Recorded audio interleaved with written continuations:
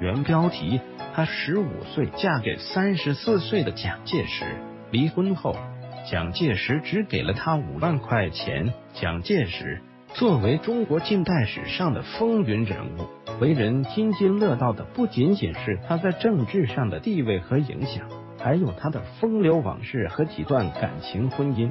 蒋介石为人所熟知的妻妾一共有四位，他们分别是原配毛福梅、谢世尧也成、陈洁如和宋美龄。在这四位里面，对蒋介石感情最为执着、受伤最深的是陈洁如。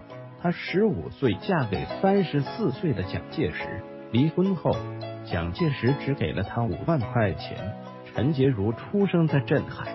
祖籍为宁波，幼年时跟随父亲陈鹤东来到上海。父亲是一名经营职业的商人，家境还不错。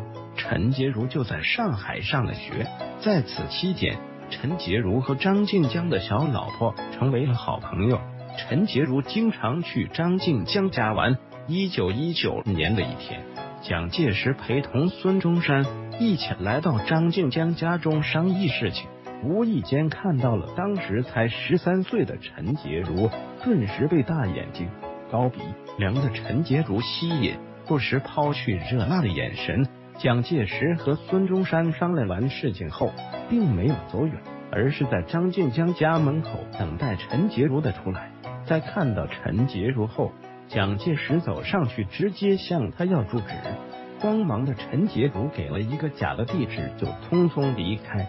但蒋介石还是想办法找到了陈洁如的家中，并且向陈洁如的母亲提出要迎娶陈洁如。陈母以陈洁如年纪还小，而且蒋介石已经发妻为理由拒绝了。蒋介石被拒绝后，不但没有退却，反而更加执着。他每天不停的给陈洁如打电话、写情书，表达对陈洁如的喜爱之情。但此时的陈洁如却并没有接纳蒋介石，直指陈洁如的父亲突然病逝。家道中落，蒋介石一面请张静江的小老婆向陈母说情，一面披麻戴孝操办陈洁如父亲的丧事。最终，陈母才点头答应了这门婚事。一九二一年十二月五日，蒋介石和陈洁如。在上海永安大楼举行了隆重的婚礼。此时陈洁如刚刚一五岁，蒋介石三十四岁。婚后两人的感情很好。蒋介石还带着陈洁如回了奉化老家，见到了原配毛福梅。值得一提的是，蒋介石为了和陈洁如结婚，还逼迫毛福梅离了婚。此后的日子，两人像热恋的情侣一样，时刻都在一起。就连蒋介石去营救永丰舰上的孙中山时，都带着陈洁如。此时的陈洁如是幸福的，而且他认为这种幸福会一直持续下去。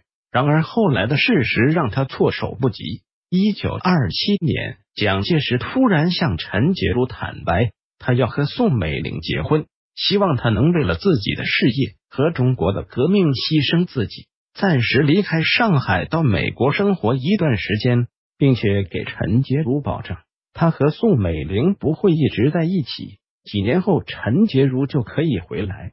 陈洁如犹如五雷轰顶，他不敢相信自己最爱的男人竟然说出这样的话。但看着蒋介石坚定的眼神，他知道已经改变不了了。一九二七年八月，陈洁如飞往美国。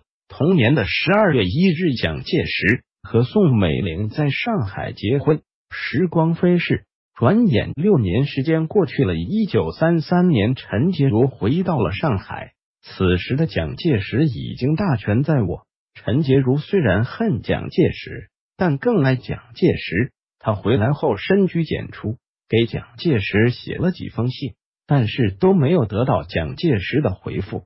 最后，蒋介石只是托人带来了五万块钱给他。陈洁如心如刀绞。建国后，陈洁如留在上海工作了一段时间。一九六一年去了香港。一九七一年一月二十一日，在香港家中病逝，返回搜狐查看更多责任编辑。